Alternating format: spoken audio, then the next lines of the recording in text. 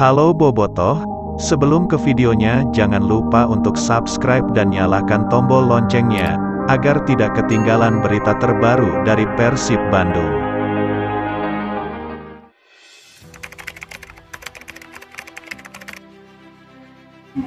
Mark Klok fokus bela Persib Bandung sebelum gabung timnas Indonesia.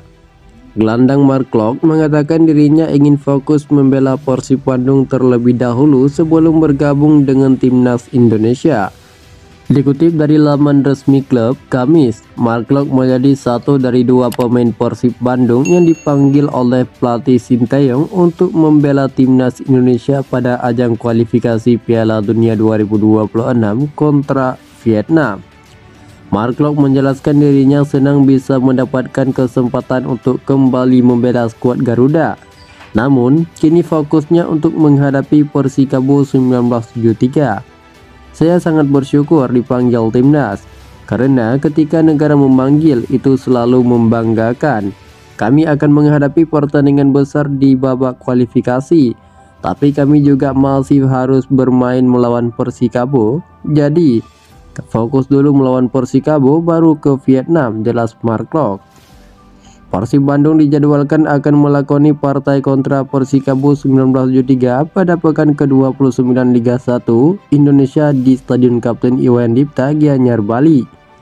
Menghadapi kondisi ini, pemain berdarah Belanda tersebut menjelaskan pertandingan melawan Persikabo sangat penting untuk dimenangkan Persib Bandung agar memantapkan peluang lolos ke Championship Series. Secara hitung-hitungan, skuad Pangeran Biru masih memerlukan kemenangan supaya tetap ada di zona empat besar dan memastikan diri lolos ke babak Championship Series. Kami harus berusaha untuk itu. Kami pikir cukup dua kemenangan lagi kita sudah pasti lolos. Ada enam pertandingan lagi regular series tapi kita lihat setelah pertandingan demi pertandingan. Tapi pasti kami mau Championship Series, ungkap Mark Locke.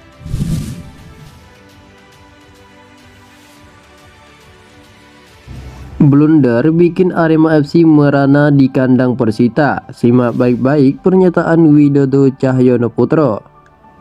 Dua blunder di sepertiga akhir lapangan membuat Arema FC takluk dari Persita Tangerang pada pekan 29 Liga 1 musim 2023-2024. Persita Tangerang mengalahkan Arema FC 4-3 di Stadion Indomil Arena, Tangerang, Rabu 13 Maret 2024 malam. Insiden blunder itu terjadi ketika Arema FC unggul 0-2 di pertengahan babak pertama. Pada menit ke-23, kesalahan Julian Guevara saat memutar badan membuat bola yang dikuasainya direbut oleh pemain Persita Tangerang, Ezekiel Vidal di sepertiga pertahanan Arema FC. Melihat ada kesempatan melakukan tendangan langsung ke gawang, Ezekiel Vidal langsung melakukan tendangan dari jarak jauh. Alhasil, pemain asal Argentina itu mampu merobek gawang Julian Schweizar Garcia meski tendangannya sempat mengenai mister gawang. 7 menit berselang, tepatnya pada menit ke-30. Lagi-lagi kesalahan di lini belakang Arema FC kembali terjadi. Ahmad Maulana Syarif gagal menghalau bola hasil dari umpan lambung pemain belakang Persita Tangerang. Alhasil Vergonzi yang berada di dekatnya langsung mengambil bola tersebut. Berlari satu lawan satu dengan Julian Schweizer Garcia, striker Persita Tangerang itu sukses membobol gawang Arema FC dan mengubah skor menjadi 2-2. Skor tersebut berakhir sampai wasit meniupkan peluit akhir babak pertama. Pelatih Arema FC, Widodo Cahyono Putro mengatakan bahwa kesalahan sedikit apa pun dalam sepak bola akan dengan mudah dimanfaatkan oleh lawan. Inilah sepak bola, ada kesalahan sedikit dapat dimanfaatkan oleh lawan. Makanya ke depan kami akan evaluasi, ucapnya seusai pertandingan. Begitu juga pada babak kedua, Singo Edan sebenarnya sempat unggul 2-3 melalui gol penalti Dedik Setiawan. Namun, Persita Tangerang yang bermain di kandang mampu mengembalikan keadaan menjadi 4-3. Hasil ini mengantarkan mereka merebut 3 poin. Kedua tim ini sama-sama mengoleksi 31 poin hasil dari 29 pertandingan bermain di kompetisi Liga 1 musim 2023-2024. Tentunya kami tetap semangat untuk Arema FC, tidak boleh putus asa.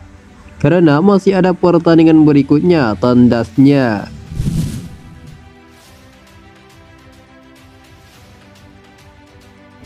Setelah Marcelino Ferdinand, pelatih Persebaya Surabaya temukan wonderkid baru. Pelatih Persebaya Surabaya, Paul Munster, yakin Tony Firmansyah merupakan pemain masa depan Bajul Ijo. Tony menjadi pembeda saat dimainkan dalam duel derby Suramadu melawan Madura United pada Rabu 13 Maret 2024. Dia masuk pada menit ke-69 untuk menggantikan Andri Octaviansyah di laga tersebut. Hanya butuh dua menit, Tony langsung memberikan ancaman ke gawang Laskar Sampi Karab. Sejauh ini, dia sudah mencatatkan 15 penampilan dengan sumbangan satu gol dan satu assist di Liga 1 musim ini.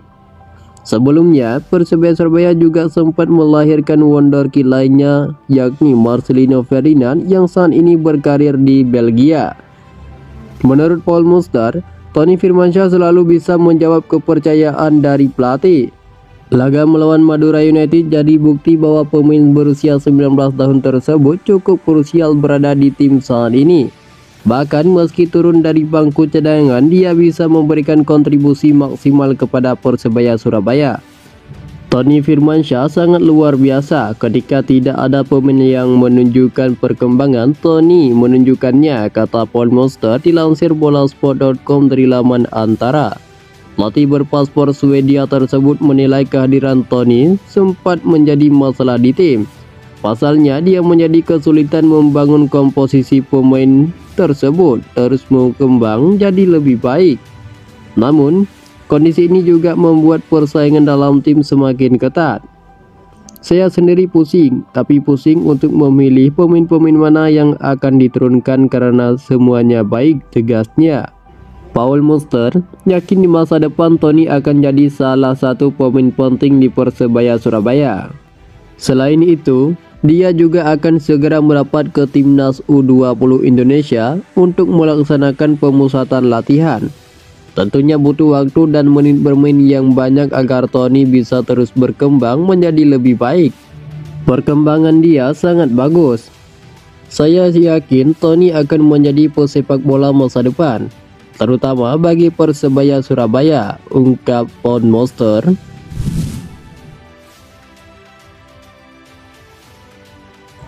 Perkuat timnas Filipina Kevin terbang ke Dubai usai lawan Persikabo. Penjaga gawang Persib Bandung Kevin Remendoza memutuskan bergabung dengan timnas Filipina untuk menghadapi babak kualifikasi Piala Dunia 2026 zona Asia. Keputusan Kevin bergabung dengan tim nasional membuatnya harus segera meninggalkan Persib. Rencananya penjaga gawang berusia 29 tahun ini akan langsung terbang ke Dubai setelah laga melawan Persikabo 1973. Kevin Mendoza mengaku sempat ragu untuk memilih antara Persib dan timnas Filipina.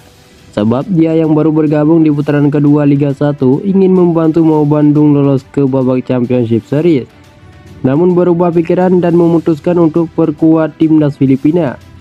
Dia mengatakan akan segera bergabung dengan skuad The Class setelah laga kontra Persikabo pada Jumat 15 Maret 2024 di Stadion Kapten Iwayan Dipta, Bali.